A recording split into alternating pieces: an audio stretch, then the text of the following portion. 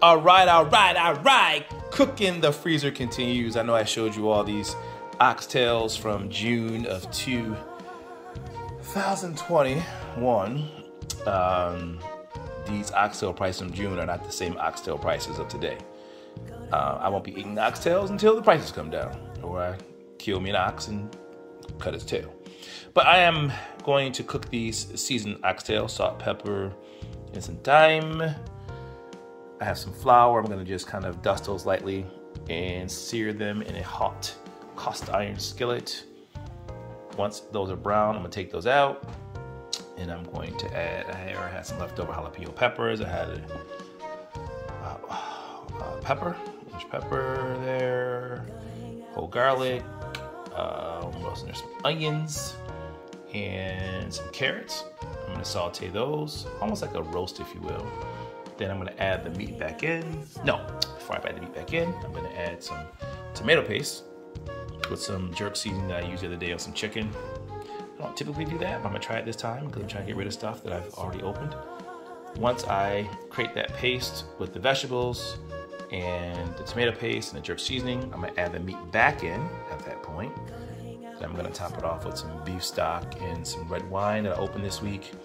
That I didn't like as much. It's kind of sweeter, so I'm gonna use that in, this stock um, instead. Alrighty, some oxtails my way. Check out those oxtails. They are searing off.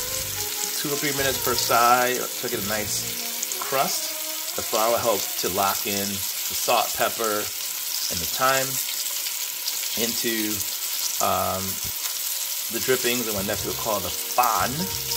I'll add the vegetables and then the paste and then the jerk seasoning. And I'm just gonna go into the oven on 350.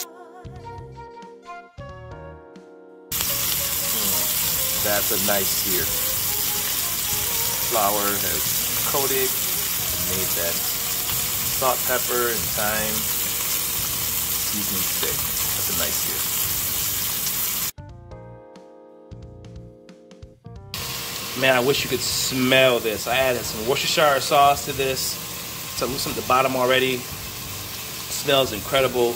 Tomato paste, the jerk seasoning. I'm gonna add the meat back in. And then I'm going to just do that. Some, doesn't have, doesn't have to be on the bottom.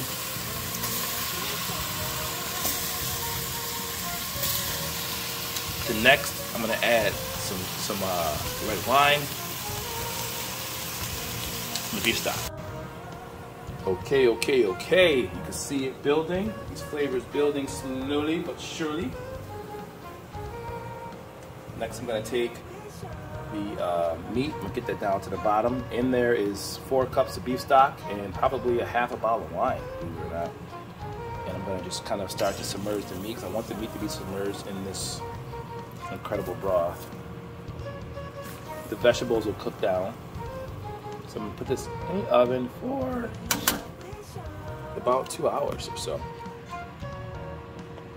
Trying to do things with uh, one hand is not always easy.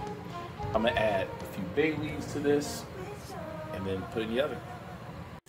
Wow, oxtail reveal. What more can I say? Look at that, just swimming in that incredible gravy.